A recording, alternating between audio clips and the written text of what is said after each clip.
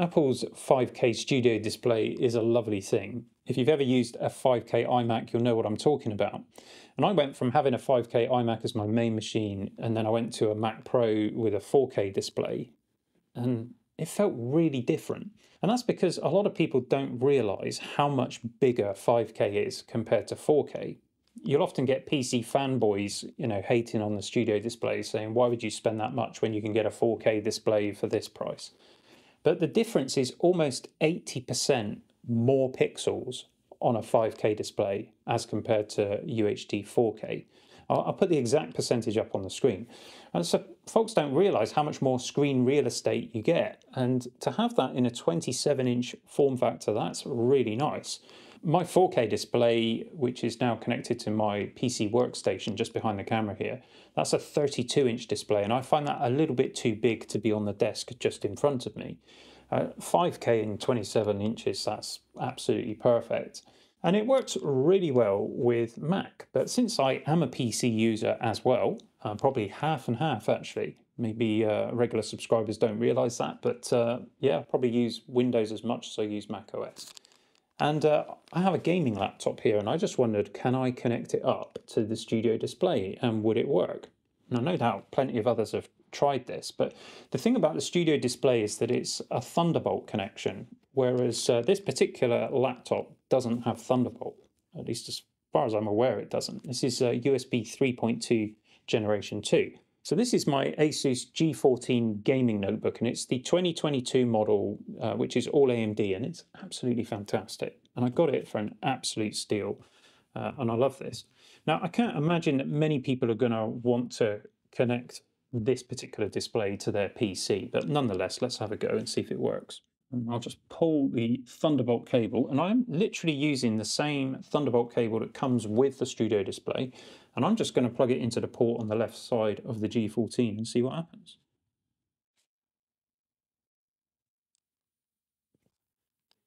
It works. Awesome. And uh, something else I'm noticing is it's actually charging my laptop as well. Now this particular notebook uh, will charge via USB-C, but obviously that's limited, I think, to 100 watts. And if you're gaming with it, you probably want 160 watts. But I don't suppose you would use a display like this for gaming anyway. Uh, the screen in the laptop is 120 hertz, and this is a 60 hertz display. This is a creative display that's color accurate. Uh, it's lovely for doing creative work. Now, obviously it's not using the full 5K resolution at the moment because it's mirroring my internal display. So we just need to change that. So let's extend the display. Oh, look at that. That looks fantastic. Good. Let's uh, keep changes, swap the position of the screens. Wow, that looks really good. And uh, I've got a feeling it might actually be using the speakers as well. So let's just try that out. If I make monitor 2 my main display, our audio options down here, audio mixer, speakers, studio display audio. There we go. So I've just called up the YouTube audio library so I can play some music without getting a copyright strike and we'll see if the uh, studio display speakers work.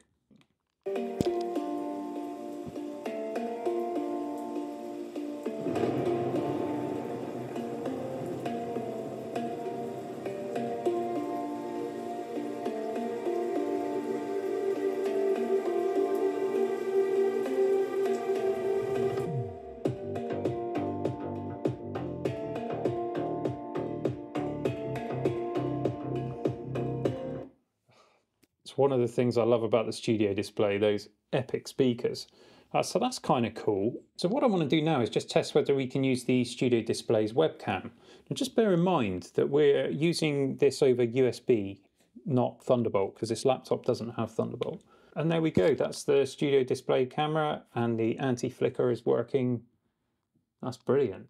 Now, of course, you're not going to be able to use things like center stage because uh, that'll be Mac specific. But anyway, that's that's really nice. Uh, it's a good webcam. It's 1080p. It, it, looks really good.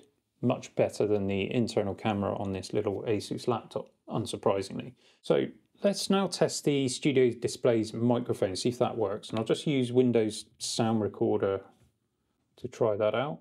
And I can see already the uh, Studio Display audio microphone is there. So let's do a little test. Testing the microphone in the studio display. And we can play that back. The microphone in the studio display. Okay.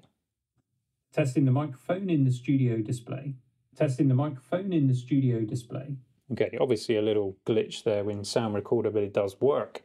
So uh, I probably need to do a bit more testing with that, but uh, it does seem like it's fully functional. And having the webcam and the speakers and the microphone, that's probably the things that you really want out of a monitor like this. Okay, what about connectivity?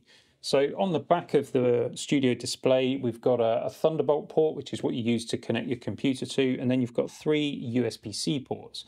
And as you can see, I've got this uh, D-Link 2.5 gigabit network adapter plugged into one of those. Uh, the question is, is my laptop seeing that? And I guess there's a really simple way to answer that by just switching off the Wi-Fi and firing up a web browser and we're offline. So it looks to me like that hasn't worked. I'll just have a look in Device Manager. Yes, it's not showing up in Device Manager. I want to just try a USB-C uh, hard disk. So I've just got an NVMe drive in here inside the enclosure. Let's plug that in and see if it appears. I'm going to guess not. No. So um, that's a bit of a sad situation, I suppose. You can't use the ports on the back. I expect though, if you had a laptop with Thunderbolt, it probably would work. The one thing though that you're never going to get working with this is the brightness because with the studio display, if you connect a Mac, you can adjust the brightness of the display with your Mac. Uh, but from a PC, there's no way to do that. There's no buttons on the monitor itself. Apple do release a driver for Boot Camp, I believe, um, but I haven't looked that up. I don't know if you can download that separately and whether that would then work, particularly with an AMD laptop. Probably not. Now, just bear in mind that this laptop has a discrete GPU and uh, an onboard GPU within the processor, and it can export the video from either of those cards through this USB C port. If you've got a tower PC with a conventional GPU in, that may not be the case. Some GPUs do have a USB-C output with DisplayPort support on, on the back of the GPU, but it might be that you have to get some sort of DisplayPort to USB-C cable. And I suspect the standard ones that you find on Amazon might not work because they're intended to work the opposite way round. Um, USB-C at the computer end to DisplayPort at the monitor end. And you want the reverse of that. Hopefully that makes sense. I'm sure there is a cable out there that will do it. I actually quite like the idea of using the studio display with my PC, but mainly it's because of that 5K resolution, which just looks so sharp and fantastic, whether it's being driven by Windows or macOS. The colours in the studio display are lovely, and uh, the webcam's great, speakers are awesome. Whether it's worth £1,500 or that much more than a, a 4K monitor, well, you'll have to decide that for yourself. Uh, for me, I like this resolution. I'm very happy with my purchase. I look at displays as a long-term investment and I'm pretty confident that this display will outlast most of the machines that will be plugged into it. I'll probably keep something like this for 10 years or more. Anyway, what do you think? Uh, let me know in the comments below. Would you buy a studio display? I'm sure you haven't gone out and bought one for just for PC usage, um, but do you use both platforms like I do? Is it something then that you think you might get some utility from? Anyway, Look forward to hearing what you've got to say in the comments section. Thanks as always for your kind support of the channel. I'll see you again soon for some more geekery.